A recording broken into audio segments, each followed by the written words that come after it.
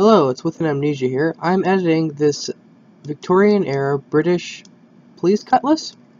It's uh 1865 uh, pattern, I think. Big sword nerd. It's, it's basically on the picture, so I'm, I'm not a big sword nerd. But if you zoom out here, and so it looks like. Kind of, I want to get some more edges, uh, edge work done here. So it, uh, so I, when I import it into BAM Workshop, it's better, transparent. There's, there's no chance of like, little pixels of uh, beige on the side. So when you really zoom out, it looks like uh, probably this inside the game because it's not quite uh, restored these the level of scaling as the 1998 Baldur's Gate. And then we zoom in here. This is what I want it to be like. So it looks pretty good. I thought this would be a good base uh, default cutlass for Baldur's Gate because it's simple. It doesn't quite have the big hand protection, the, the, the dish thing, the um, that the uh, kind of rapiers have. It's kind of simple, right? It has the uh, you know simple crossguard, and actually in uh, 16th century, uh, when cutlasses are kind of, you know, they're somewhat earlier versions, right?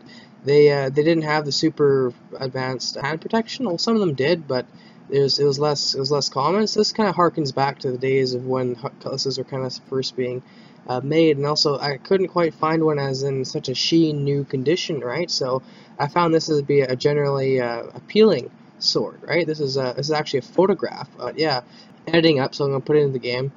I thought this would be a good base design because it's simple, it's nice, it has that brass hilt that all the other swords, like the Bastard Sword the Baldur's Gate have. I can uh, somewhat uh, tilt it, probably in Photoshop or something like that. I just trace uh, outline and then just uh, tilt it, rotate it to this kind of same thing. It's also it's flat on this picture and it's the the sword is nice. There's no like big brown streaks, whatever. Like uh, like or just red tan. Sometimes people take pictures and it's so reflective that like they kept on like for example, I have a different one over here.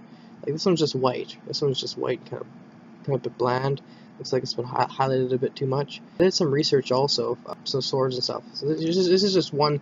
I, I, did so much research that the tabs basically overflow. So this is the uh, fourth page that this has happened to me.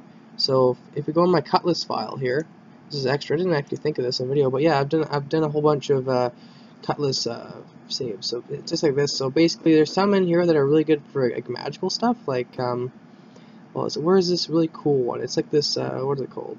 Inverse. This one right here. This guy looks pretty good. He's not quite a cutlass. It's almost like a scimitar or something, like that. But he looks cool.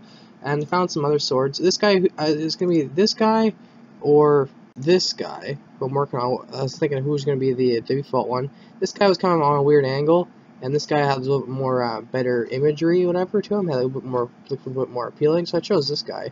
So I'm just doing some edge work along the blade here and up here, so it looks like it's, you know, the cutlass, right?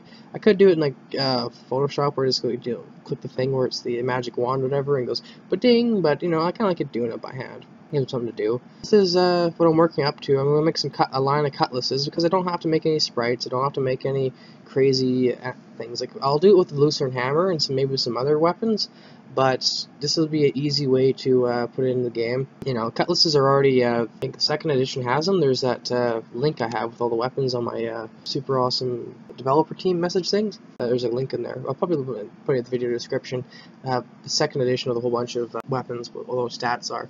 So yeah, I just thought, yeah, here's me with the cutlass working on it, and this will be the default one. And I hope you guys like it. bye for now. Take care. Have any thoughts or insights, please reply to me somehow. And um, yeah, so take care. Bye for now. Have a good one. We'll pass.